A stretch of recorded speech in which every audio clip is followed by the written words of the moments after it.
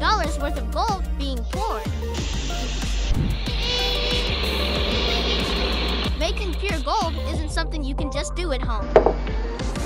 Today I'm going to take you through the entire process, from mining and discovering raw gold to melting and refining it, and finally polishing and shaping it into gold bars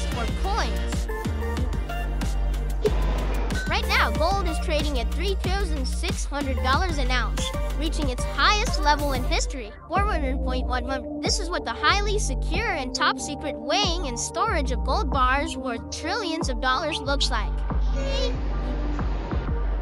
Almost 50% of all gold above ground, or about 95,000 metric tons, is owned by private individuals and is typically held in the form of jewelry, bullion, and coin.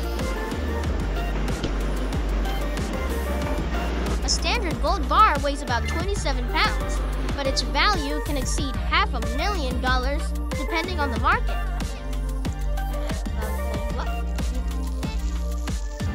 Gold was created billions of years ago during the explosive deaths of stars and in neutron star collisions, where extreme heat and pressure forged heavy elements. After Earth formed, most of its natural gold into the core. The gold we mine today mainly arrived later, delivered by asteroids during the late heavy bombardment, about 4 billion years ago.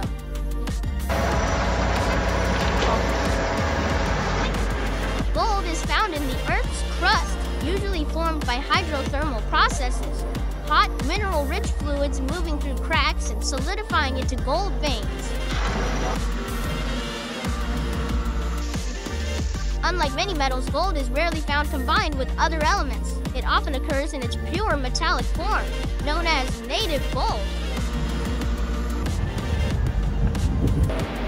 Today, humans extract gold by mining it from open pit or underground mines and refining it through processes such as cyanide leaching, smelting, and electrolysis. Gold doesn't corrode, rust, or tarnish which is why even bars buried for centuries remain shiny and untarnished.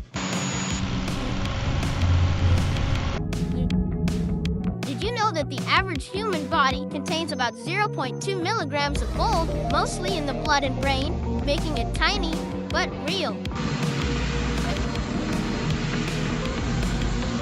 Every official bar has stamps showing the refinery, purity, serial number, and sometimes the year minted, which makes each bar uniquely traceable.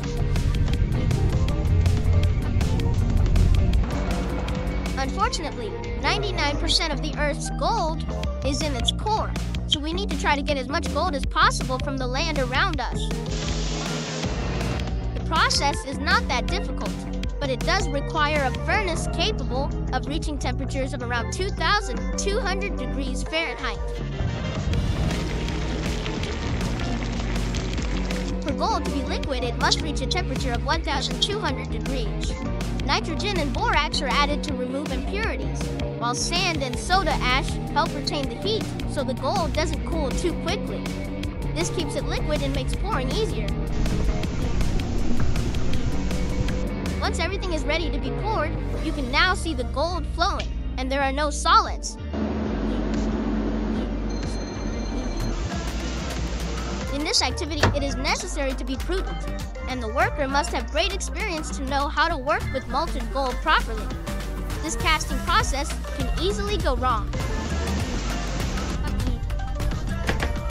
They wear specialized heat-resistant suits, gloves, and face shields. Even a small mistake could result in severe burns or the loss of enormous value. The facilities where they work are among the most secure in the world. Workers are thoroughly vetted and movements are monitored by cameras and security personnel. No one handles the bars alone. Every step from casting to weighing to storing is supervised.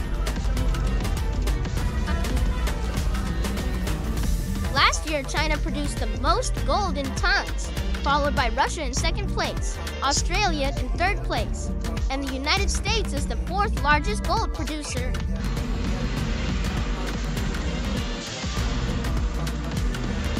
The heaviest gold bar ever made weighs about 55 pounds and was cast by Japan's Mitsubishi Materials Corporation in 2005. Even at that weight, the bar isn't massive. Its size is only about 15 inches in each dimension.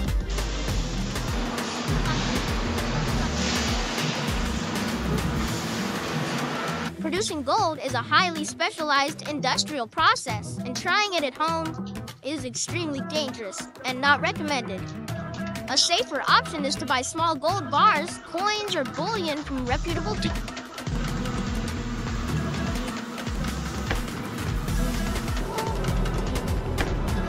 gold brick is almost cooled and can now be worked and polished. To cool it down, it is simply placed in clean, cold water.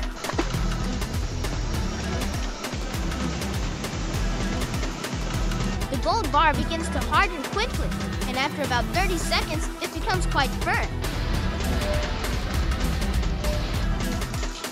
In this case, this gold factory is trying to achieve 95% purity. They do this by using reagents, so they add sand, borax, sodium carbonate, and nitrate.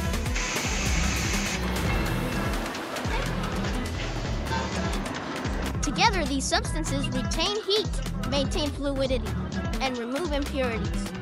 That's why from the top, there's that black slag around the gold brick you see right now. That black is obsidian, and it is desirable to remove it to achieve pure gold.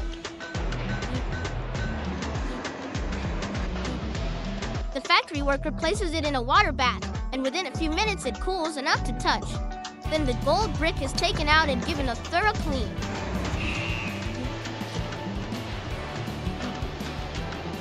Gold ingots from production factories usually come in several standard shapes and forms such as rectangular bars, cast bars, minted bars, small bullion bars, or coins. Gold bars are stamped for several important reasons. Each bar shows which company produced it, ensuring identification at the refinery.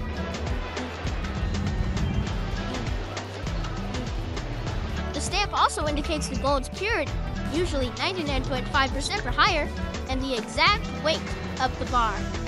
Unique serial numbers make each bar traceable and help prevent fraud.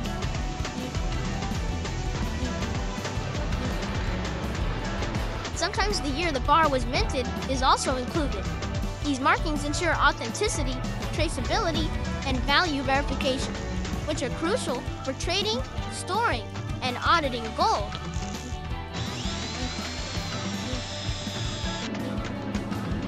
The United States has the largest gold reserves in the world, totaling 8,133 tons. Most of this gold is kept in Fort Knox, Kentucky, the Denver Mint, and the West Point Bullion Depository. Fewer than 5% of U.S. gold reserves have ever been physically audited by external parties.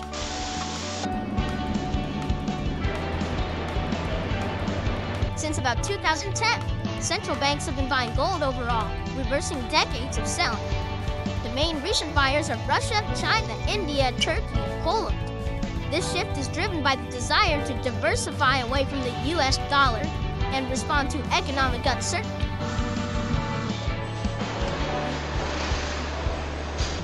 Some counterfeiters create fake gold bars by covering tungsten, which has the same density as gold, with a layer of real gold. In 2020, more than 80 fake bars were found in Chinese banks. Gold authenticity is checked using X-ray fluorescence, weight and size measurements, and ultrasonic testing. Some countries, such as Russia and China, use gold to bypass sanctions. Lessen dependence on the dollar create alternative economic systems. Gold is viewed as a safeguard against currency devaluation, inflation, and political instability. Gold bars worth billions of dollars are stored in bank vaults. Central banks, major commercial banks, and specialized bullion banks maintain highly secure underground vaults for this purpose. When gold is transferred between banks or countries, the process is extremely controlled and discreet.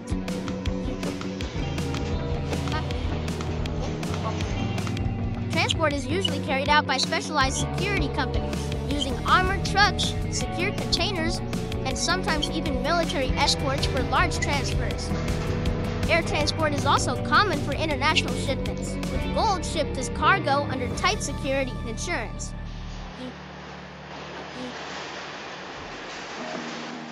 Interestingly, much of the time gold doesn't physically move at all. Instead, ownership is simply transferred on paper between accounts held at the same vault. Physical movement only happens when absolutely necessary, since it's costly, risky, and logistically complex.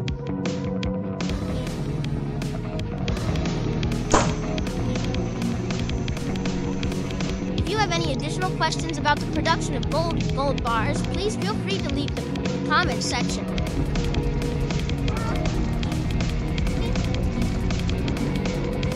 Let's move on to our next fascinating manufacturing process, the printing of U.S. banknotes.